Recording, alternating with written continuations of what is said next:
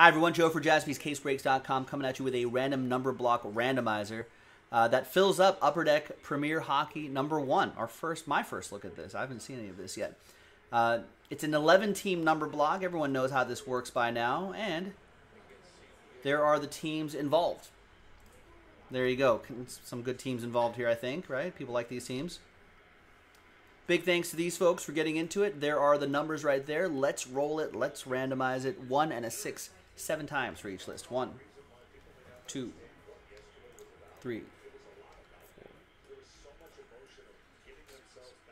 and seventh and final time. After seven, we got a couple Williams down to a Stephen K. Seven times for the numbers. One, two, three.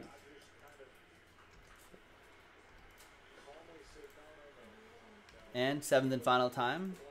There you go, six and a one. There's seven. There's seven right there. Eight down to zero. Remember, zero gets any and all redemptions, including one of one redemptions. But William, you'll still get live one of ones. It's alive.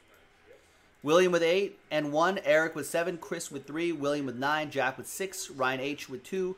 Brian with four. Corey with five. And Stephen K with zero.